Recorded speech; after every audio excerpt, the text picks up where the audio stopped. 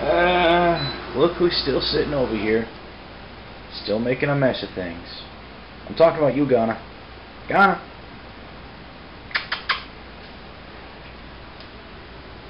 Stupid cat. So, um, anyways, I put the fourth edition out yesterday, and, uh, said I was going to talk about it a little today. And that's what we're going to do.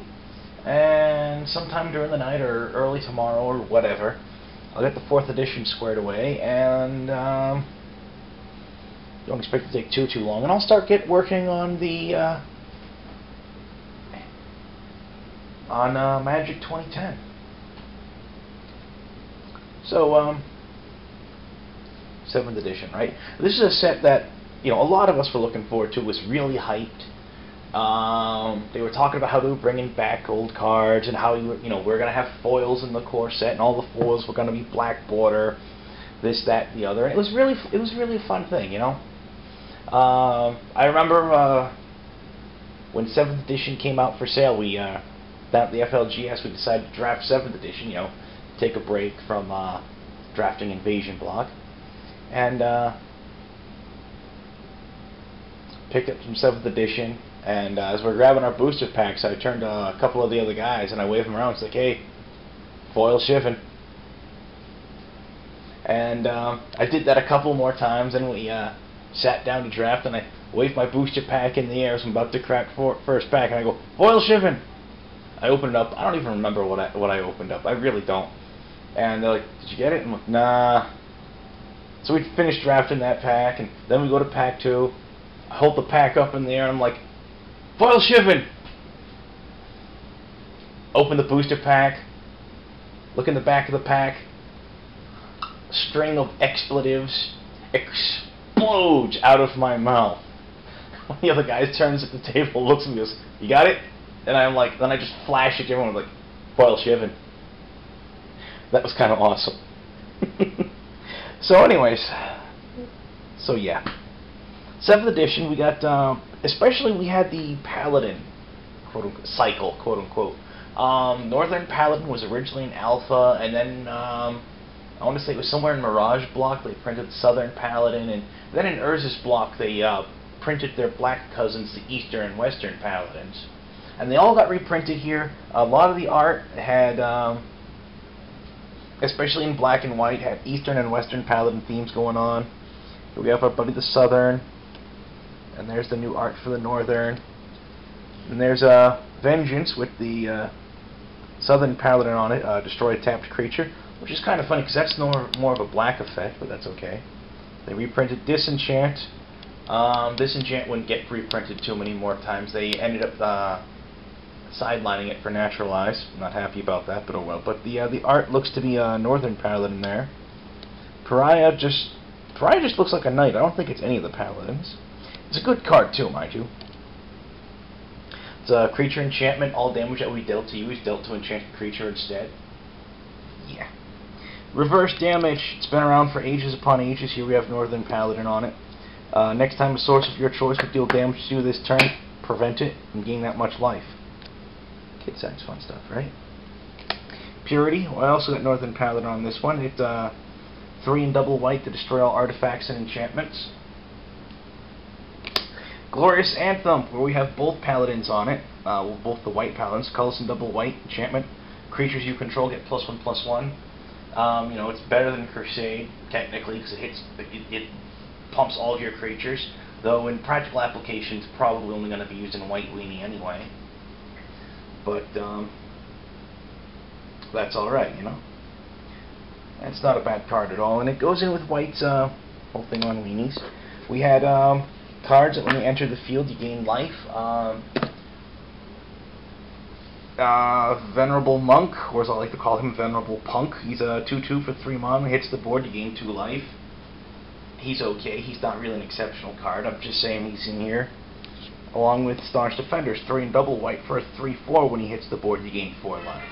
And I've got a phone call, so I'm going to cut this short and pick up later. So where was I? Yeah, that that was my mom. She was like playing around with furniture and blah blah blah that and You know, my grandma's sick and they're thinking she's going to kick off within a couple of weeks, if that. I'm not too worried about it. I mean, I was never close to my grandma, and so, you know, her shuffling off the mortal coil doesn't really bother bother me any. I know that probably sounds horrible and mean, but you know what? She's she's really old. I mean, she's like early 90s or something. She's well beyond normal life expectancy. So it's like, hey, you know what? She's had a full life. If she hasn't made anything of it, that's on her. And if I don't give a crap about her dying, I think she probably has a great deal to do with that. You know? On the other hand, when this stupid monster kicks off, I know I'm going to be freaking broken up. Yeah. Stupid. Anyways, so where was I? Um, oh yeah. Creatures, gaining life, blah blah blah. Staunch defenders. It's not bad. Uh, Breath of Life, 3 and a white, sorcery, return a creature from your graveyard to play. Um, it's technically a, seriously, it's actually a slightly better version of, ah, here we go, Resurrection, originally from Alpha, which does the exact same thing for 2 and double white. So yeah, it's, it's a slightly better version of Resurrection, you know, so it's nothing they haven't had before. Worship, so long as you control a creature, uh, your life total can't go below 1. Uh, that's kind of funky. Uh, basically, it turns every every creature in your deck into Ali from Cairo. Uh, for those that don't know, um, Ali from Cairo was a old card from Arabian Nights that um, said that your life total can't be reduced below one. Kid science, fun stuff. And then going with the illustration for this, we also have uh, a bit of an angel theme going on. We've got Serra's Embrace in print here. It's a creature enchantment. gives a creature plus two, plus two flying and vigilance for two and double white. We've got Angelic Page, uh, one one flyer. You tap it for uh, plus one, plus one target attacking or blocking creature. Um, its creature type is spirit. Its original creature type is spirit. It's been since eroded to be an angel, which outside of changelings, Frizda, Frizda, changelings. Um, outside of changelings, it's probably the cheapest angel card in the game, casting cost wise. But a colorless and a white. Serra Advocate, three and a white for a two-two flyer, much like the angelic page, taps to give a bonus to target uh, attacking or blocking creature, though in this case it's plus two, plus two.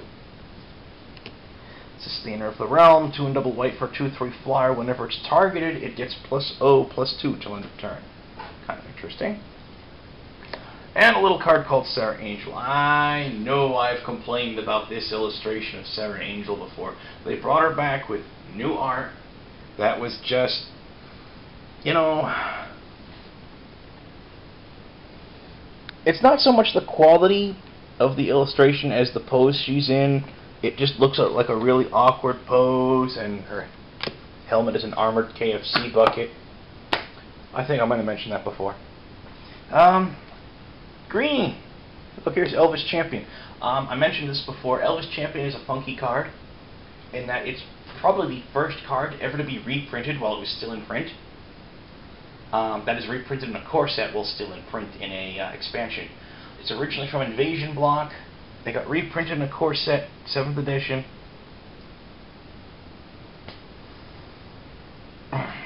It's kind of funky. Um, all your elves get uh, well, he's a creature type is Lord. That creature type's been retired. So his creature type today is probably Elf, and he said, and he'll probably say all other elves get plus one, plus one Forest Walk. Lawnmower Elf. It's only been out of print in like one, maybe two base sets. Solid card. It's an elf. Blah blah blah. Fyndhorn Elder. It's uh basically it's a lawnmower elf for two more colors that provides double green instead of just green. Hey, while we're on the topic of mana acceleration, yeah, I put these down in an order first, guys. Yeah. So we're on the topic of mana acceleration. Wild Growth, still in print. It's a land enchantment. Uh, makes enchanted land provide you an additional green when it's tapped for mana. The Rampant Growth allows you to tutor for uh, basic land. There were a couple other mana fixer cards and uh, tutoring cards, blah blah blah, in here. Monstrous Growth. It's a sorcery for a Cults and a green. It gives a creature plus 4 plus 4 till end of turn. Um, the fact that it was a sorcery is really what made it kind of ho-hum. And these days it's outclassed by, I believe it's Monstrous Growth in the current core set, which would of course replaced the Giant Growth, which has had a few illustrations over the years. It, but it's still a solid card. We're on the subject of making things bigger at Instant Speed. Hey, look, here's Might of Oaks, reprinted in 7th edition. Uh, I've got this guy carrying a tree under his arm with the flavor text of Guess Where I'm Gonna Plant This. You gotta love it when they have a nice sense of humor with the flavor text and it blends with the art so well, you know? Uh, 3 and a green, instant, target creature gets plus 7, plus 7 till end of turn. Speaking of big things, you know, we got Spined Wurm reprinted. It's a 5-4 for 5 mana. It's nothing special, it's nothing great, it's nothing spectacular by any stretch of the imagination. But, hey, you know what? It's green. You get big fat creatures. You also get a fishing creature. So colorless double green for a 3-3. That's not bad. Lone Wolf. We also have um, Thaw Trample in core set here. 2-2. You may have it deal damage to uh, defending player as if it weren't blocked. As if it weren't blocked. Then we have Thorn Elemental, which does the exact same thing, but with a 7-7 body. It's, fun stuff. Gorilla Chieftain, he's 4 mana for a 3-3 regenerator. Um, these days he's outclassed. Well, he's a common too. That's not so bad though. Uh, these days he's actually outclassed by um, uh, Cudgel Troll, but Cudgel Troll's an uncommon. So hey, there you go. Yeah, Giant Spider, still in print. Then he brought along a little brother, uh, Canopy Spider, a 1-3 for half the casting cost. Speaking of things that... Uh,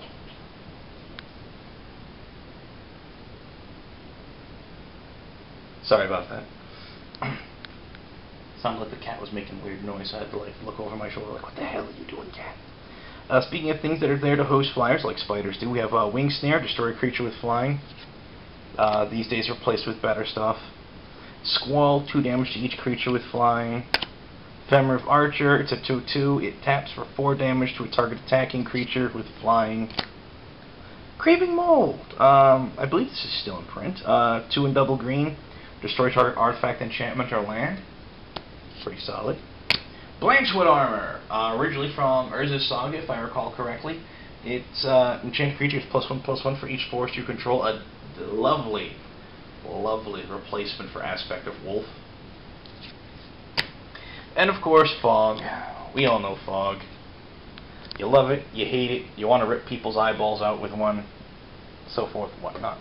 Red, I know I've got a 7th edition uh, Shivan Dragon somewhere. He's not in this stack. I'm pretty sure I've got him in like some wonky casual deck somewhere. I'm not worried about it. But we do have his Crimson Hellkite. He's uh, 6 and triple red for a 6-6 flyer. And he's also got the special ability of X and tap to deal X damage to target creature, but you can only spend red mana this way. Okay. While we're on the subject of direct damage, hey look, we got Sudden Impact, 3 in a red, instant. Uh, deals damage target player equal to the number of cards they had control. Um, this is originally from Tempest, um, which kind of which is kind of funny in a way because this exact same effect as an instant with the same mana cost was originally printed in green as Stormseeker. That's okay. Spitting Earth. Uh, it's a and red sorcery. Damage to a creature equal to the number of mountains you control. It's a funky little removal card. Tremor. One to each creature without flying. Shock. It's no lightning bolt, but it's not bad. Wildfire, 4 and double red, each player sacks 4 lands, and Wildfire deals 4, damage to each creature. Inferno, 6 to each creature and player. Each creature and player. There's a lot of burn in 7th, you know, more than uh, you'd otherwise expect at times. Especially seeing how much, uh, in 5th and 6th, how much effort they put into downgrading burn. You know? Volcanic Hammer, 3 to target creature or player, sorcery speed for a colorless and a red. Um, and there's the thing right there. Uh, for a long time, we expected that if we wanted 3 damage to a creature or player, it would have to be at sorcery speed for a colorless and a red. We missed Lightning Bolt. We missed it hard. But oh well. Lightning Blast, originally from Tempest. Uh, 3 in a red. At least Tempest block. I'm not sure if it was from Tempest proper. Three in a red for an instant for four damage to creature or player. Pyrotechnics, four in a red for a sorcery that's four damage as divided as you choose among creatures and players. Pyroclasm, we know this one, two to each creature. Blaze, X damage target creature or player. There's a lot of burn in this set, I'm telling you guys. Orcish Artillery, we remember him. He's a 1-3, tap for 2 damage to a target creature or player and 3 to yourself. Ghitu Fire Eater, it's a 2-2, you tap and sacrifice it to deal damage to target creature or player equal to its power. And it goes really awesome with Granite Grip, which gives it plus 1 plus 0 for each mountain you control. Yeah, speaking of uh, lands, hey look, there's a Stone Rain, still in print. Gotta love Stone Rain. And if you don't like land destruction, you have to love Stone Rain. Two in the red, sorcery, destroy target land. Nice. Pillage, colorless, double red, destroy artifact or land, can't be regenerated. Goblin Matron. She tutors for a goblin. All well and good. Goblin Gardener. It's a 2-1 that when it dies, you get to nuke a land. Hey! Raging Goblin. Hands down better than uh, Fledging's Nuts. Mon's Goblin Raiders. Uh, Bloodshot Cyclops makes a decent replacement for Stone Giant. It's a 5 and a red for a 4-4 tap and sack creature, and the Bloodshot deals damage equal to the sacrifice creature's power, the target creature or player. You know what? Um, it, it's it, it's it's different, similar thematically, all well and good, right? And of course, uh, one last card talking about just red being the way red is. Final Fortune, which also shows um, the uh, Western Paladin about to get his head split open from behind by the Northern. Um, take an extra turn after this one. At the end of the turn, you lose the game. That's just the way red operates, folks. I'm going to win. I'm going to win now, and you can't stop me. And if red fails to win, or if you somehow find a way to stop it, you're made. You know? Black Eastern and Western Paladins. Uh, one's nukes green creatures, the other nukes white creatures. Uh, Serpent Warrior. Um, the idea that with black, power comes at a price. Serpent Warrior is a 3-3 for 3 mana, but you also pay 3 life when it hits the board. It's not a great card by any stretch of the imagination, but you know, hey, it, it's an example of what black does. As is Foul Imp, which is a 2-2 for uh, flyer for two mana that when it hits the board you lose two life. I mean, that that's what black does, though I think Necrogen Scudder overall is a significantly better one. Abyssal Spectre, they've been they've been printing him off and on since, I want to say, 5th, as a replacement for uh, Hypnotic Spectre. Um, he costs more, he's, a he's got an extra point of toughness, and the discard is not random, so he's kind of questionable as a choice for uh, well, it's hard to replace Hippie. But hey, you know, you got uh, Flying Discard Engine, uh, 7th edition, as well as Oppression. Whenever a player casts it's a black enchantment for colorless Double Black. Whenever a player plays a spell, that player discards a card from his or her hand. Yay! More discard. Ostracize! Black, sorcery. Target opponent reveals their hand. Choose a creature card from it, they discard it. Mind Rot, they discard two. Duress! Uh, force them to discard a non-creature, non-land. Ragman was reprinted. Black, black, black, tap. Target opponent reveals his or her hand and discards a creature at random. Yep. Oh, great. Another example of black's power at a price. Uh, three and a black, enchantment. Pump black and pay two life to draw a card. There we go. Revenant. Uh, here we have black's. Sorry about that. Stray hair sitting in one of the stacks. I had to pull it out. Uh, it's a four and a black for a star star flyer. Star is the number of uh, creature cards in your graveyard. Kid science fun stuff. Strands of Night, two colors, double black. Enchantment, double black. Pay two life. Sack a swamp. Take a creature from your graveyard, put it in play. It's a reusable creature recursion, guys. Kid science fun stuff. Grave Digger. What did I say about recursion? Yeah. Corrupt, it's a card that rewards you for playing a bunch of swamps. It's 5 and a black for sorcery. Um, deals damage to creature or player Equal to the number of swamps you control, gain that much life. Befoul, 2 and double black for sorcery. Uh, nuke a land or a non-black creature, which can't be regenerated. Dark Banishing, nuke a non-black creature, can't be regenerated. Nausea, it's a sorcery. All creatures get neg 1, neg 1 till end of turn. Howl from Beyond, a classic finisher card, still in print.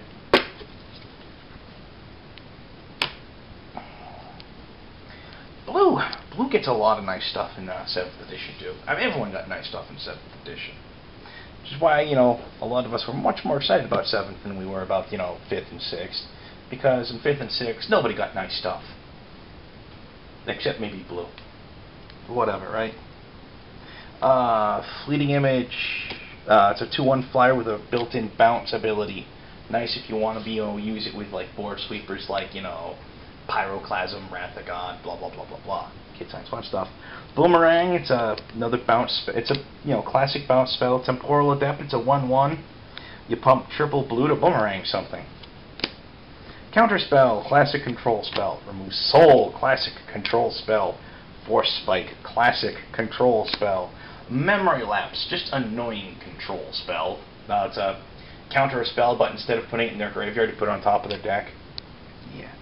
Arcane Laboratory shuts down combos. Uh, two and a blue enchantment. Players can't cast more than one spell a turn. Kid science, fun stuff. Opportunity, four double blue instant. Target player draws four cards. Instant speed, draw card. Inspiration, three and a blue. Instant, target player draws two cards. Instant speed, draw card. Sage Owl hits the board, look at your top four, put them back in the order. And it's a 1-1 flyer. Hey, look, it's deck manipulation.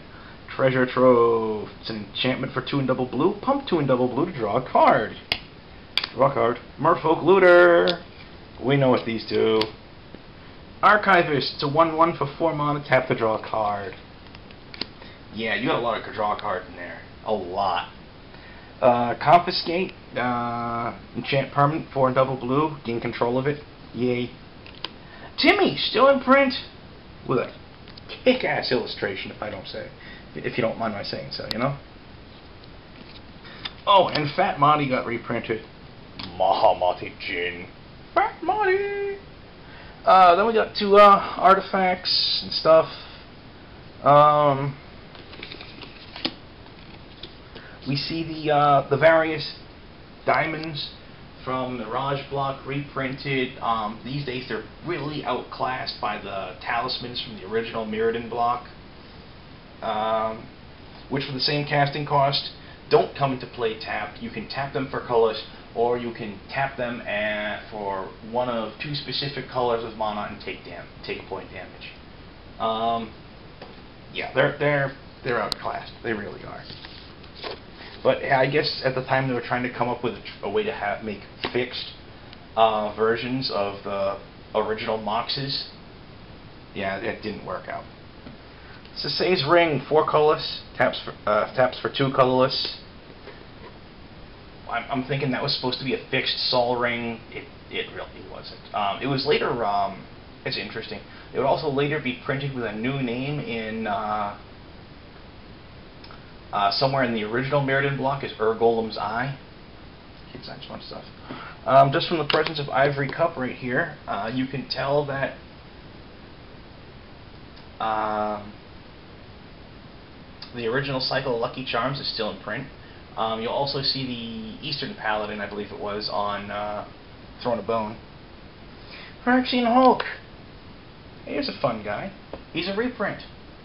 He's also a reprint in uh, New Phyrexia, so hey, go fig, you know?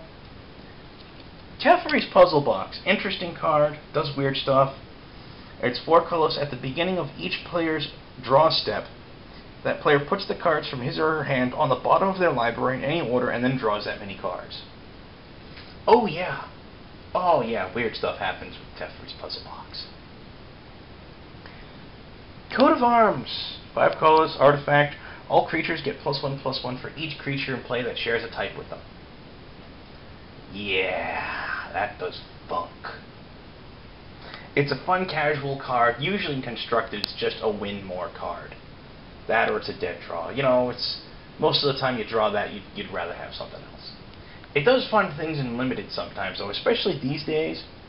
Um, well, not so much these days. I don't think it's in print anymore. But I remember one time sitting there drafting, and I'm seeing a uh, a coat of arms go around. Then I stop and I realize, wait a minute, most of the half the more than half the creatures I've drafted are humans. I just snapped up coat of arms. It was fun. Uh, spellbook. It's basically a depowered library of Leng. It only all it does is remove your hand size restriction, but it's a zero cost artifact. Hmm, sorry. Um, this is a card that most of the time it's pure Timmy bait. People see, ooh, I can have any number of cards in my hands. It removes the maximum card size restriction, card hand size restriction. That's awesome. No, no, it's not. It just really isn't. Pit Trap, it's interesting. It's an artifact. It's a re um, you know, like most of the cards, it's reprint from an outside set, outside of core set, that is. The two colors for an artifact, two colors tap and sacrifice it to destroy target attacking creature that does not have flying. It can't be regenerated. It's not too bad. It's really not too bad. And by the presence of Sulphur Springs, we can see that, yes, Ice Age Painlands still in print in Corset. Yeah. Yeah.